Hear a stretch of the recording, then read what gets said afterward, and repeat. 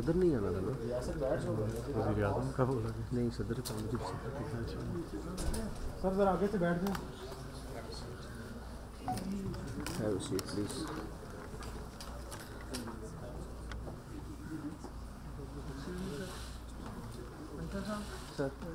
اتنا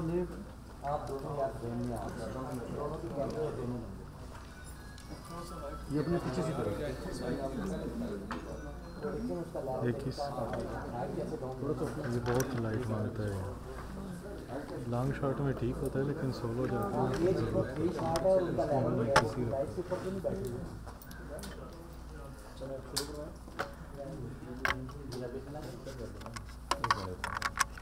سب سے پہلے میں آپ کو شکریہ ادا کرتا ہوں کہ آپ تشریف لائے۔ میں کچھ ہاں۔ ٹھیک ہے ٹھیک ہے چھوڑ۔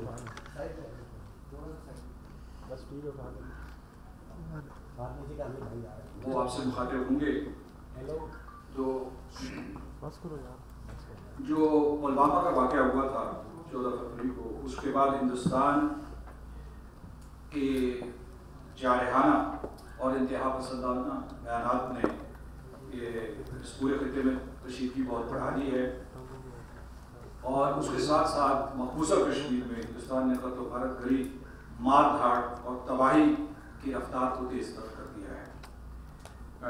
پچھلے چند دنوں میں ہی دو سو کے قریب لوگوں کو گرفتار کر لیا گیا ہے۔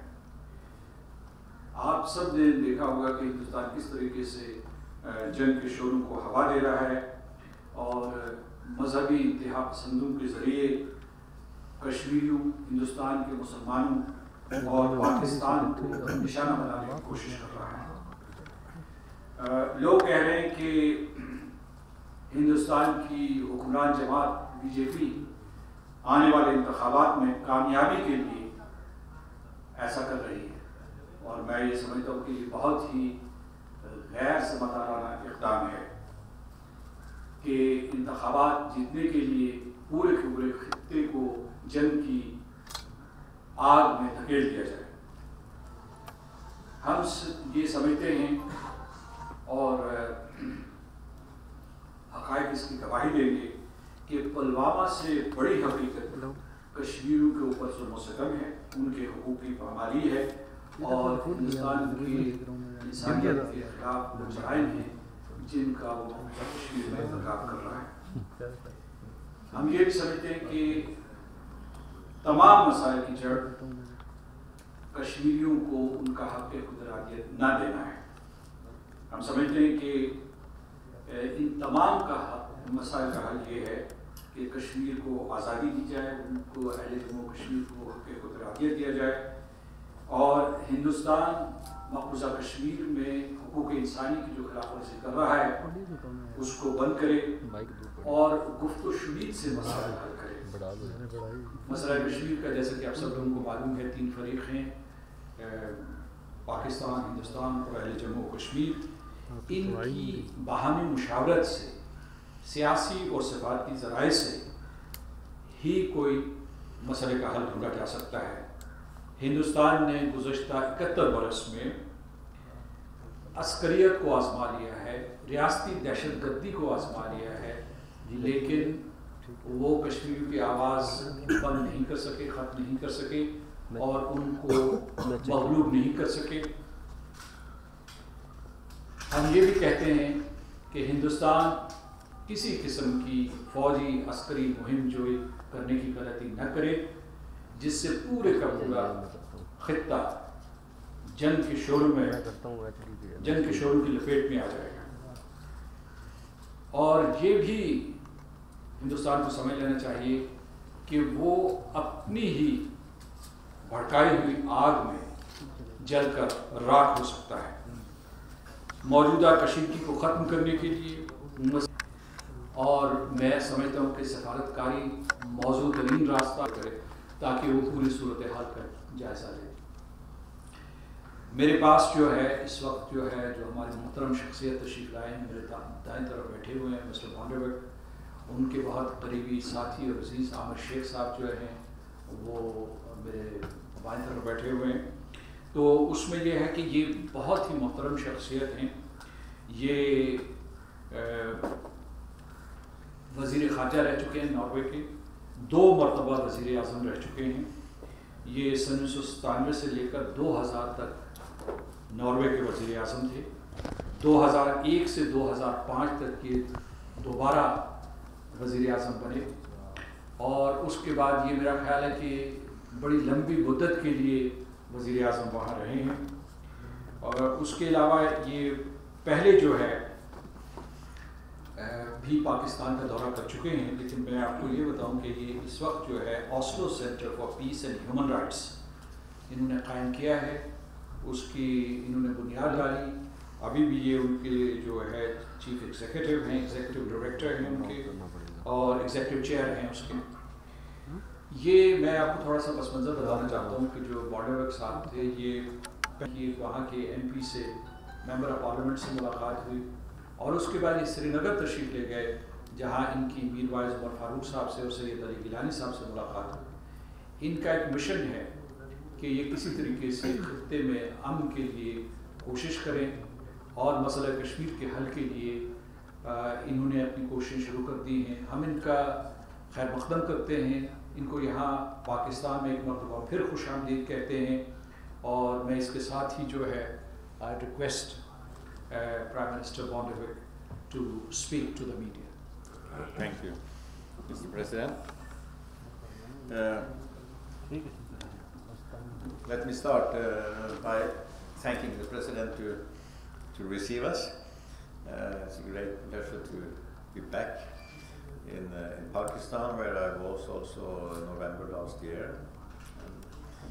Uh, as uh, I understood it was mentioned. I was also in Kashmir, both sides, and, and met the president up there. Just as a brief background, after I stepped down as Prime Minister of Norway in 2005, I founded the Oslo Center. We are working for peace, for democracy, for human rights with projects in several countries. Uh, I became uh, engaged in the Kashmir issue a couple of years ago. Uh, also uh, through people living in Norway from uh, Pakistan and from uh, Kashmir.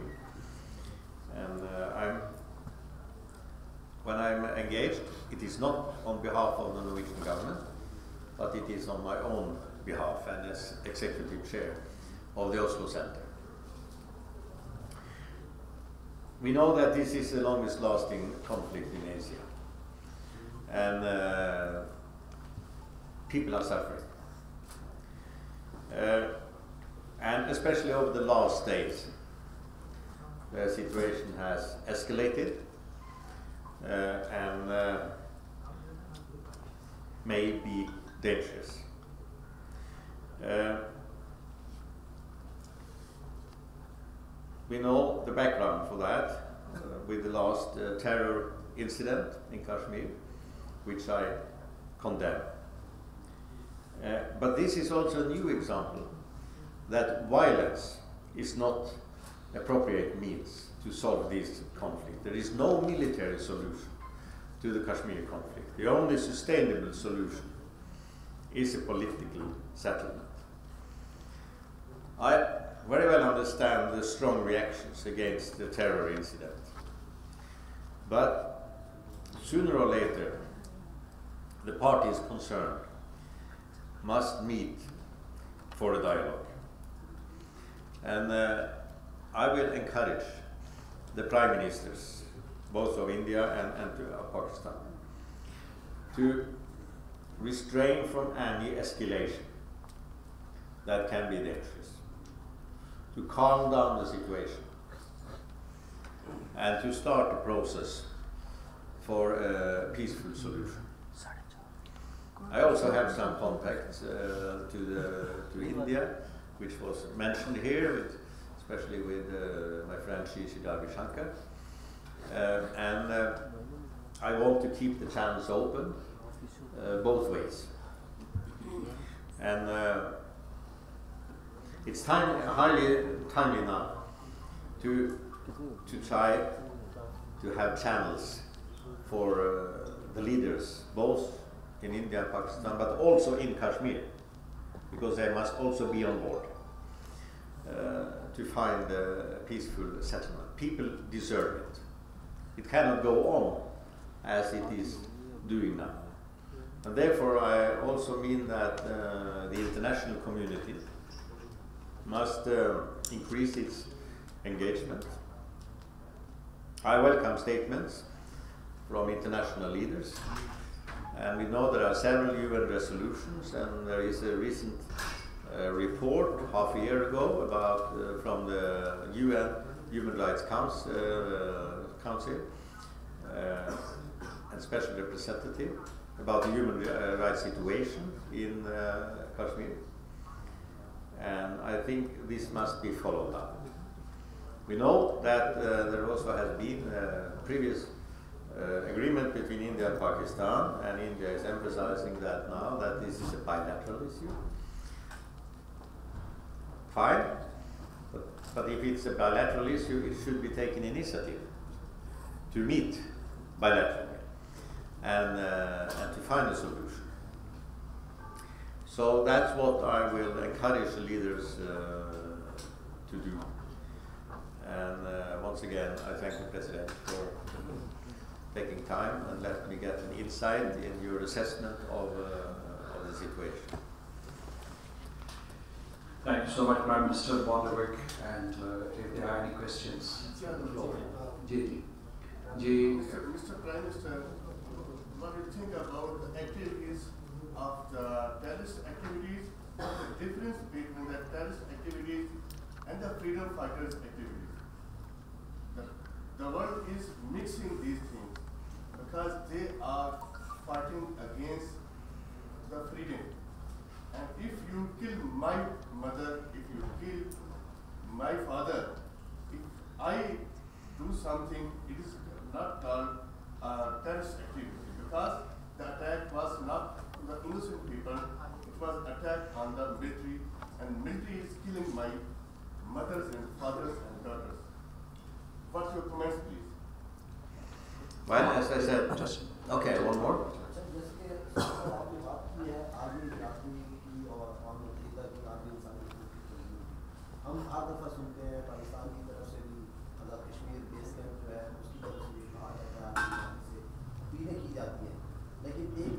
Pakistan کا کردار یہ ہے کہ پاکستان امن چاہتا ہے لیکن دوسری طرف بھارت جو ہے وہ بجائے ٹیبل کے آنے کے مذاکرات کے آنے کے بجائے وہ اس کشیدگی کو بڑھا رہا ہے۔ آپ اس موقع پہ عالمی انسانی حقوق کی جو تنظیمیں ہیں قومی خریدا ہے عالمی برادری ہے اس کے کردار کو کیسے دیکھا Yeah, that's all. Yes, let's wait for. Yeah, we wait. The terror incident, uh, as neutral in, in this conflict, uh, I remind you of what you said, what I said in my statement, namely that violence is no solution. From whatever side it uh, is used. And we are trying to fight terror all over the world where it uh, takes place. And uh, we condemn it. And that's uh, also what I do uh, with regard to the terrorist uh, act in, in Kashmir. It's no excuse for using terror. And I'm glad that also the Pakistani government has been clear uh, on that and that uh, they are not behind it. So regardless of who is responsible, I will uh, condemn it. and we hope to find another way forward. Thank you. آپ نے مجھ سے سوال پوچھا جی میں ایک یہ بتاؤں کہ ایک پچھلے دنوں جو ہے پچھلے سالوں میں آپ نے دیکھا ہوگا کہ بین الاقوامی سطح پہ حقوق انسانی کی جو تنظیمیں ہیں یا جو پارلیمنٹس ہیں دنیا کی وہ یورپین یونین کی یورپین پارلیمنٹ ہو یا اس کے علاوہ برطانوی پارلیمنٹ ہو دوسری جگہ پہ بھی جو پارلیمنٹیرینس ہیں وہ اپنی آواز بلند کر رہے ہیں خود پرائم منسٹر کانٹربیک نے ذکر کیا کہ کس طریقے سے گزشتہ برس جو ہے، اقوام متحدہ نے اپنی ایک رپورٹ شائع کی تھی۔ تو یہ سارے کے سارے جو ہیں، اقدامات خوش آئند ہیں۔ لیکن یہ کافی نہیں ہے۔ اب جو بین الاقوامی برادری کو اور خاص طور سے جو ان کی حکومتیں ہیں، وہ امریکہ، برطانیہ اور فرانس کی ہوں یا روس اور چین کی ہوں، یہ سارے کے سارے مستقل ارکان ہیں۔ صلاح کاؤنسل کے۔ ان کو آگے بڑھ کے اس مسئلے کو حل کروانے کی کوشش کرنی چاہیے، خاص طور سے اقوام متحدہ کو، ان کو ایک خصوصی نمائندہ مقرر کرنا چاہیے۔ ایک، دو، تین چیزیں جو انہوں نے کہی ہیں، وہ میں تھوڑا سا بتانا چاہتا ہوں اور میں ان کی توثیق بھی کرتا ہوں۔ انہوں نے یہ کہا ہے کہ مسئلہ کشمیر کا کوئی عسکری حل نہیں ہے، اور یہ ہم بھی کہتے ہیں۔ یعنی اہل جموں کشمیر کہتے ہیں، پاکستان کہتا ہے۔ انہوں نے دوسرا یہ کہا کہ فریقین کے درمیان ڈائلاگ ہونا چاہیے، بالکل ضروری ہے۔ اور پاکستان اور ہندوستان کو انہوں نے یہ کہا ہے، اپیل کی ہے کہ کسی بھی طریقے سے کوئی ایسا طریقہ استعمال کریں پرم سیاسی اور صفاتی طریقہ، تاکہ حالات بگڑنے نہ پائیں اور پرم حل کی کوشش کی جائے، مسئلہ کشمیر کی بالخصوص۔ اور ان کے ہندوستان میں بھی رابطے ہیں اور یہ ان سے بھی مطلب یہ کہیں گے کہ صورتحال کو ٹھنڈا کرنے کی کوشش کی جائے۔ اسے اس طریقے سے جو ہے، ایک سے جو ایسکلیشن کی طرف نہ لے جایا ہے انہوں نے یہ کہا کہ اس وقت جو ہے، وقت کا تقاضا یہ ہے کہ کوئی ایسے چینل تلاش تلاش کیے جائے کہ ہم صورت حال کو بگڑنے سے بچا سکیں۔ اور جیسا کہ میں نے پہلے کہا، ان کا بھی یہی کہنا ہے کہ انٹرنیشنل کمیونٹی کو اپنا کردار ادا کرنا چاہیے۔ اور خاص طور کیونکہ ان کا کہ یو این کی قراردادیں موجود ہیں کشمیر کے سلسلے میں۔ اور یو این کی رپورٹ بھی، جس کا بھی میں نے تھوڑی دیر پہلے حوالہ دیا۔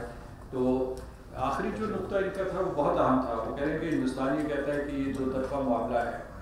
تو یہ کہہ رہے ہیں بفرض محال اگر مان بھی کیا جائے کہ یہ دو طرفہ ہے، تو اس صورت میں بھی کم از کم جو ہے مذاکرات تو شروع ہونے چاہیے ان کو بات چیت تو ہونی چاہیے تو اور کوئی آپ جو؟ جی آپ۔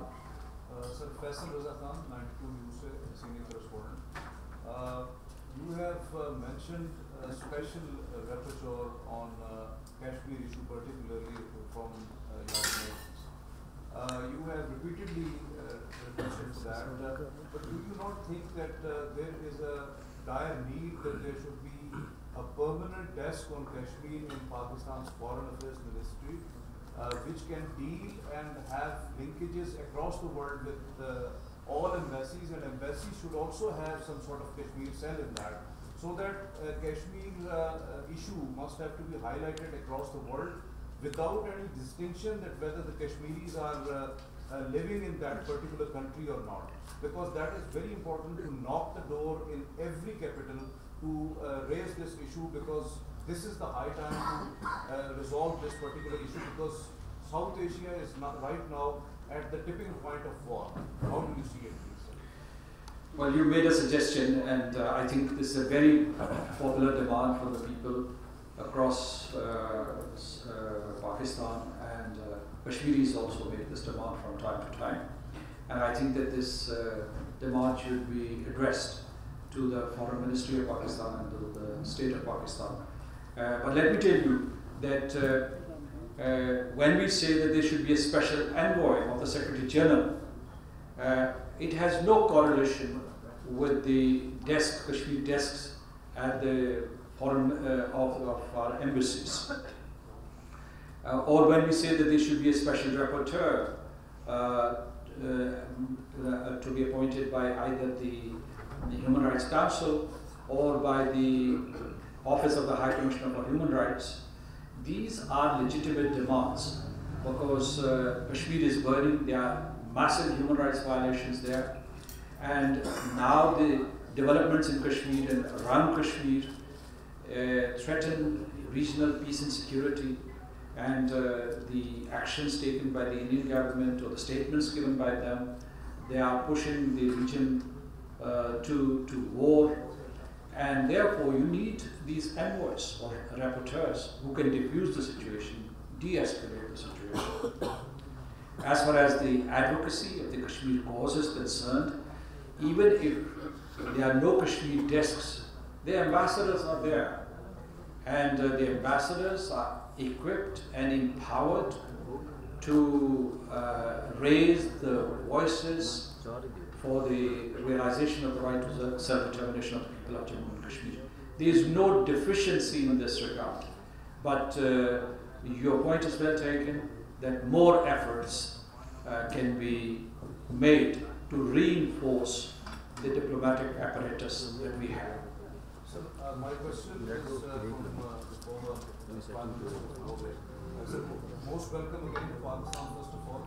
Uh, rec- just recently after Pulwama incident, uh, uh, Indian military in its press conference, a high-level uh, military officer in his press conference, he has stressed that the government has given them free hand uh, of any sort of violence within occupied Kashmir, Indian occupied Kashmir, and uh, they are now initiating the genocide. Official statement was made by the Indian military of genocide of the Kashmiri people, and after that we have seen that uh, the extremist Hindu factions they were burning the properties of uh, the Kashmiris, they were burning people alive, and now they have started genocide across Valley and into other parts of Jammu. How do you particularly see this type of aspect from Indian democracy? I will, of course, not judge between India and Pakistan, but I will appeal to both parties to restrain from uh, any actions that will escalate the conflict and make it even more dangerous than it is already. Uh, as I said, violence in any or another way is not a solution. And uh, therefore, I think there is a heavy responsibility to the two prime ministers to stand up, calm down the situation, and uh, be open for a, a dialogue. Thank you. आप about uh, three questions, last three questions. Assalamualaikum sir, I'm Jabir from APP. Now, oh, could you please? Uh, I'm Ali Jabir from APP sir. Uh, my question is to you sir. Uh, after the Pulwama attack, the reaction of Modi regime, their media, and now after few days, now what we read in the Hindustan Times or other newspapers, they claimed it to be a concocted one they just tried to demonize the Pakistani government and their forces that they were involved in that incident. Sir, uh, my question is why don't the Kashmiri people, the Kashmiri uh, people who are, uh, you know, raising the uh, Kashmiri plight across the world, why don't they make the world realize about the Indian real face behind their propaganda tools, how they are demonizing the freedom movement as terrorist movement. Indirectly, we have seen that they are involved behind those incidents. Why not instead, uh, along with the human rights violations, we should apprise the world about their you know, negative role in those violence, their indirect involvement in those violence incidents and then blaming on them on the Kashmiri youths, particularly, and then on Pakistan. So, uh, that was my question. Thank you. جناب صدر میں یہ کہنا چاہوں گا کہ کھیل کا میدان ہو ثقافتی میدان ہو سیاسی میدان ہو یا آزادی ہو یا کشمیریوں کا حقاعاتیت آزادی ہو یا اس میں بگ تھری ہو یا کوئی بھی سلسلہ ہو، اس میں ہندوستان ہمارے خلاف چلتا ہے۔ جیسا کہ آپ نے اپنی اسپیچ میں بھی ابھی فرمایا کہ بہت ساری انسانی حقوق کی عالمی تنظیموں نے مل کر کے اسے قائل کرنے کی بھی کوشش کی، لیکن اب اس کے باوجود بھی اب پلوامہ کا ڈرامہ جو ہے وہ پھر کھیلا گیا ہے۔ اب کیا یو این او کو بہت دفعہ کہا جا چکا، ستر سالوں سے ہم اپنے بہن بھائیوں کے خاندان والوں کی لاش اٹھا رہے ہیں۔ क्या जो सबक वजीर साहब आए हुए हैं का आपने करवा बताया कि उसमें में इन्होंने इंसानी हकूक की तंजीम भी कायम की है acts from the Indian side. As I said, I want to be neutral, I want to have channels to both sides, and consequently, I cannot judge uh, what is done from the one or the other side. I take note of that uh, there is much violence, and I said, that is not the solution. It's an appeal from me to both sides uh, to restrain from that, to calm down. With regard to the UN, uh, we know that there has been several UN resolutions during the years. And last June, we got a report about the human rights situation uh, from the UN Human Rights High Commissioner. Uh, and there is also a report from a group of members of parliament in uh, UK. Uh, and I think that it's a clear documentation that human rights abuses are taking place in Kashmir, no doubt. Uh, India is emphasizing this is a bilateral issue. But as I said, if it is, okay, fine. But then it must be taken initiatives to get the bilateral dialogue. And as long as that is not uh, the case, I think that the international community also has to be engaged. Uh, now we have seen statements from international leaders over the last days, also from the US uh, president. And I welcome more engagement uh, also from the, the UN. And uh, I myself, I'm only acting on behalf of my own. I, I will try to contribute to get focus on the Kashmir uh, issue because the tragedy that this conflict has been going on for so many years. It should be possible to let it come to an end.